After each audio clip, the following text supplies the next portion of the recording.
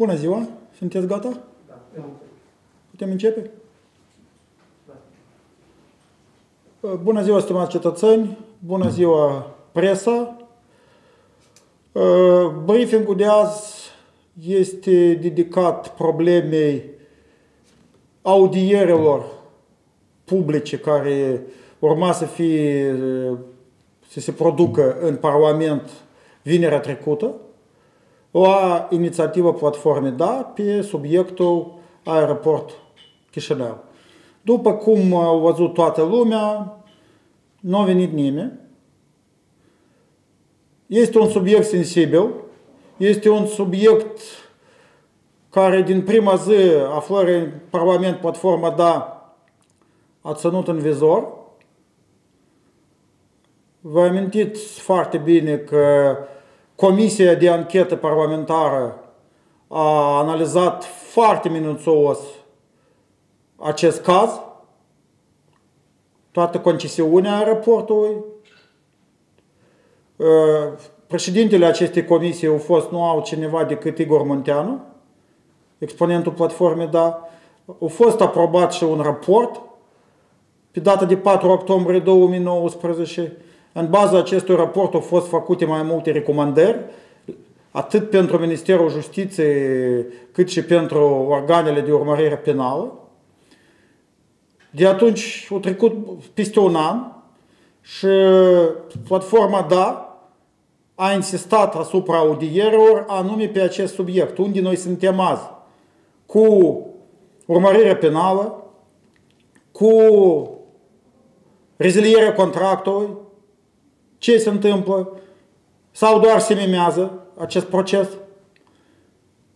Raport este o, un obiectiv strategic de infrastructură critică, iarăși lucru despre care noi nu doar vorbim, dar avem și un proiect de lege care a fost votat în prima lectură joi.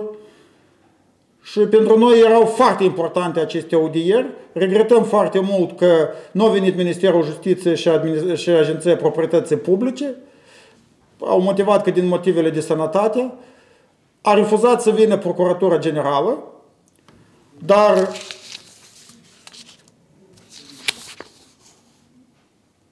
noi, cei de la platforma DA, am izbutit, am reușit să primim răspuns de la Procuratura Generală, chiar dacă ei au refuzat să vină, dar au anexat notă informativă exhaustivă, nu știu, poate nu exhaustivă, dar o foarte minuțoasă despre uh, mersul anchetei.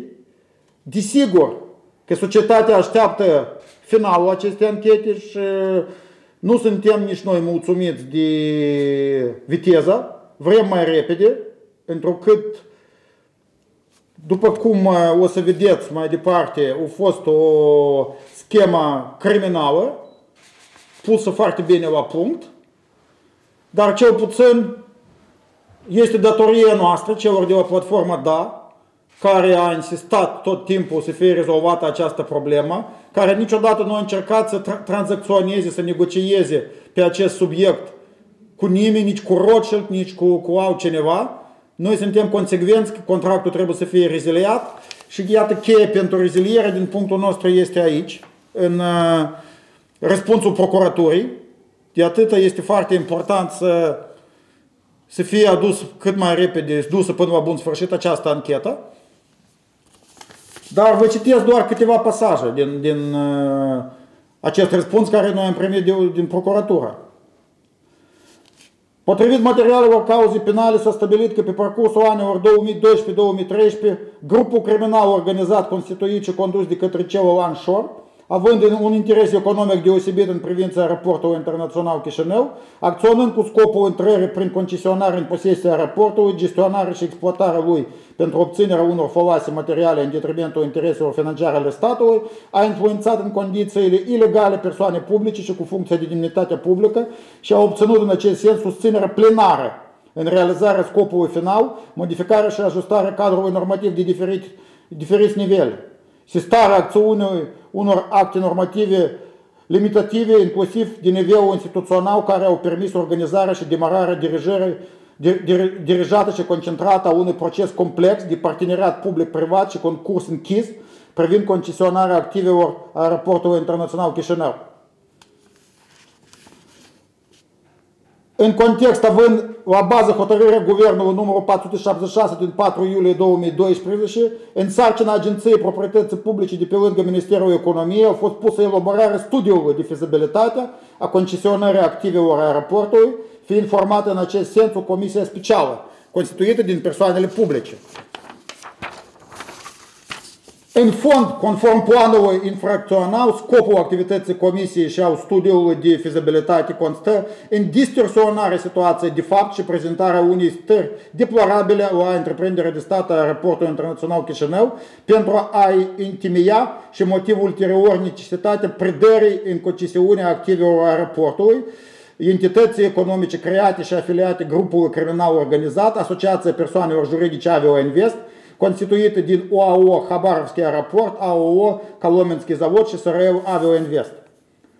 În concluziile comisiei, în cauză au fost introduse date vădit denaturate, toate activitățile în acest sens fiind trucate și întocmite în favoarea concesionării aeroportului. În această ordine de idei, organul de urmărire penală constatând că unii din membrii comisiei nici nu au fost înștiințați despre acest subiect și nu au participat la ședințele Comisiei de elaborare a studiului de fezibilitate. Iar un membru a declarat că a fost impus să semneze studiul, deși nu a fost de acord cu el. Organul de urmărire penală a administrat suficiente probe ce indică că activitatea Comisiei de concurs a fost un, una aranjată preventiv din exteriorul, trucată în așa fel încât câștigătorul să devină anume Asociația Persoanelor Juridice Avio Invest – și cererile din participare la concursul de concesionare a întreprinderii de stat a raportului internațional Chișinău, Chișinău a operatorilor cu renume la nivel internațional nu au fost remise deloc, pe când în cadrul ședințelor Comisiei de Concesionare se invoca refuzul operatorilor cu renume să participe la concurs. Ă, noi toate aceste momente am reflectat, mai multe din aceste momente am reflectat în raportul comisie de anchetă, dar ne bucurăm că deja după, în baza raportului Comisiei de Anchetă a lui Igor Munteanu, iată, noi vedem confirmările de la procuratură. Și cea mai ilegală este această hotărâre guvernului, numărul 30 mai 2013, semnată de Iuri Leanca și contrasemnată și de Valeriu Lazar, care era ministrul economiei, unde se aprobă concesionarea aeroportului și se comit două încălcări legal, ilegale, încălcări a legislației grave. În primul rând, concursul e, e, trebuie să fie desfășurat închis, ceea ce categoric contravine legii cu privind administrarea și dietizarea proprietății publice. Și în al doilea rând, guvernul va asigura menținerea nivelului taxelor aeronautice pentru perioada contractului de concesiune. Aici au intrat și acele 9 euro, care de mult nu trebuia să intre, deoarece creditul uh, față de Banca Europeană a fost achitat în 1998. Dar, vedeți că această hotărâre a fost aprobată. În consecință, la 30 august 2013, reprezentantul, reprezentanta Agenției Proprietății Publice, Angela Susano, o persoană pur și simplu care s-a găsit un țap spășător, împuternicită prin decizia Comisiei de Concurs, a semnat contractul de concesiune cu altă persoană juridică. Nu cu uh, trei persoane juridice care au participat la concurs, dar cu SRL Avio Invest, care nici nu a participat la concurs în calitate de subiect distinct și care nu întrunea cerințele obligatorii formulate față de concesionar. Deci s-a încălcat tot ce, ce era posibil de, de, de încălcat. În condițiile date de naturarea studiului de fezibilitate și trucarea concursului Asociația Persoanelor Juridice Avio Invest, entitate economică ca formă juridică de organizare neprevăzută de legislație, creată de Elan Shore, anume pentru concursul de concesionare a întreprinderii de stat aeroportul internațional Chișinău, a devenit câștigătoare concursului, care de fapt nu a participat ca structură economică distinctă la concurs, precum că fiind puternicită de Asociația Persoanelor Juridice Avio Invest. La moment, în cadrul urmăririi penale, mai multe persoane fizice și juridice sunt puse sub învinuire. În primul rând, Șorelan Miron, Jardan Petru, care a participat în cadrul comisiei de selectare, de concurs, fiind atunci ca reprezentantul statului, peste ceva timp devenind administratorul uh, Chișinău, aeroportului Chișinău, din de numele lui Ivan Șor. Copăci Tudor, care a fost președintele Comisiei de Concurs, iar este pus sub învinuire, cunoaștem foarte bine că este o rudă cu Igor Dodon, iată probabil de ce mai puțin se vorbește despre acest lucru. Ultima informație care iarăși a parvenit de la procuratură, foarte interesantă despre concurs, cum uh, a fost uh, pregătit caietul de sarcini și iarăși revin la acest, acest lucru privind participarea pretință a, sau refuzul pretință a, a, a companiilor de, de renume în concurs, despre care eu deja am menționat. În acest context, procuratura menționează că în cadrul urmăririi penale s-au obținut anumite probe ce indică la faptul că contractul de concesionare a întreprinderii de stat a aeroportului internațional Chișinău, cât și caietul de sarcini, nu au fost întocmite de către reprezentanța Agenției Proprietății Publice, dar de către persoanele afiliate lui Ioan Șor. Și discuțiile pe marginea condițiilor contractului de concesiune și caietul de sarcini au avut loc și au fost redactate în imobilul amplasat pe strada Tighina numărul 12, municipiul Chișinău, oficiile companiei afiliate lui Ilan Șor și care fac parte din concernul Șor Holding. Asta nu, nu opoziția scrie. Asta nu este document politic, asta notă informativă care, care este anexată la scrisarea Procuraturii Generale. Procuratura Generală a transmis la mai multe țări uh, comisii rogatorii uh, un demers dacă companiile din aceste țări au participat, au fost înștiințați despre acest concurs în 2013. Rezultatele Comisiei Rogătorii au porvenit în adresa Procuraturii Anticorupție din uh, Litonia pe, pe problema financiară, fiind traduse se examinează în prezent de către organul de urmărire penală. În aceeași ordine de idei, la 30 decembrie 2019 au fost expediate comisii rugătorii organelor competente ale Regatului Unit al Marii Britanii, SUA, Elveția, Spania, Franța, Austria, în vederea ridicării și examinării invitațiilor cu privire la participarea la concurs de concesionare, ce se pretind că au fost expediate de către membrii Comisiei de Concesionare, audierea persoanelor responsabile de examinarea invitațiilor și deciziile adoptate Uh, iar la 4 martie 2020 a fost expediată o comisie răgătorie în Chipru uh, cu privire la rulajul mijloace urbanești la compania Doltania Consulting Ltd, ca rezultatul ar parvenirii a 5 milioane euro la SRL Avia Invest. La 5 octombrie 2020 au parvenit rezultate executării Comisiei Rugătorii din Statele Unite ale Americii și Austria, conform cărora se constată că aeroporturile vizate din, această din aceste state nu au primit careva invitație la concursul de concesionare a activelor întreprindere de stat Aeroport Internațional Chișinău. Probabil asemenea răspunsuri o să vină și din alte țări. În legătură cu faptul că unele infracțiuni investigate sunt componente, componente materiale, existența prejudiciului material cauzat prin infracțiune fiind obligatoriu, la 5 ianuarie 2021 în adresa Guvernului Republicii Moldova a fost înaintat un demers prin care s-a solicitat evaluarea prejudiciului cauzat statului și desemnarea unui reprezentant pentru atribuirea statutului procesual de partea vatamată și partea civilă în ordine articolului 59 și 61 din Codul de Procedură Penală. Deci, ancheta este în derulare. Repet încă o dată, noi așteptăm viteză mai mare. Și cetățenii și societatea așteaptă cât mai repede să fie pronunțate verdicte asupra acestei scheme criminale. Dar chiar și din acele, din acele materiale care le-am citit, se vede foarte clar că în 2012-2013 au fost încalcate toate normele legale posibile.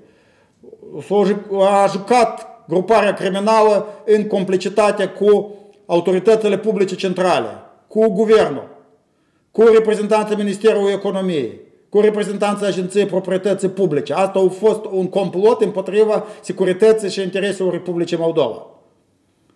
Și în acest context, platforma, da, insistă și continuă linia noastră că contractul trebuie să fie reziliat nu din cauza investițiilor, falimentul, mai multe lucruri la care acum, linia pe care au mers fostă guvernare. Și iată că se întinde pe acest proces. Strict financiar, strict legat de investițiile, dar procedura a fost viciată aici, din start. Avio Invest a acționat cu curea credință, curea intență, în baza coruperii administrației publice centrale în baza unor încălcări flagrante ale legislației. Acest concurs din start a fost viciat. Și este mult mai corect și mult mai rezonabil să fie pornită acea, altă linie. Fără negocieri cu roșul, cu, cu, cu alți criminali. Nu avem noi ce negocia cu dânșii. În acest context, reiterăm poziția platformei DA.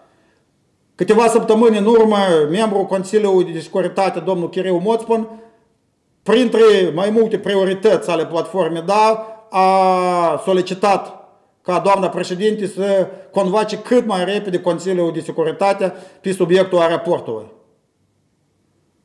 Cu părere de rău, de atunci noi n-am văzut mișcări. Profitând de ocazie, ținând cont de aceste materiale care au parvenit la platforma da. Materiale oficiale de la procuratură. Da, ancheta în derulare, da, mai, mai, mai, nu este completă probabil, se mai așteaptă ceva, dar materiale deja după, după mine sunt destul de, de elocvente. Cât mai repede doamna președinte ar trebui să convoace Consiliul de Securitate și să examineze situația cu aeroportul internațional sub două aspecte.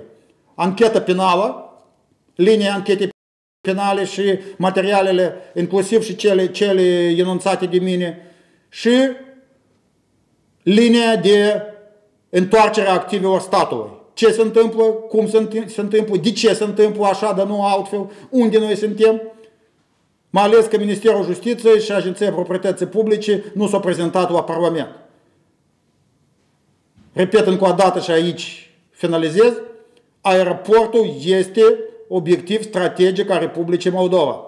În 2013, o gașcă criminală, având susținerea la nivelul guvernului și parlamentului, și-a bătut joc de țară și a deposedat Republica Moldova de aeroport. Criminalii trebuie să fie trași la răspundere, aeroportul trebuie să fie întors statului. Fără negocieri, fără variante. Punctul.